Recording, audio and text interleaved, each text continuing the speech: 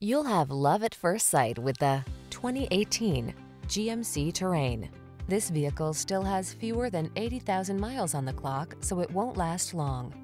This vehicle delivers the style, comfort, and efficiency you need to meet the needs of today's lifestyle.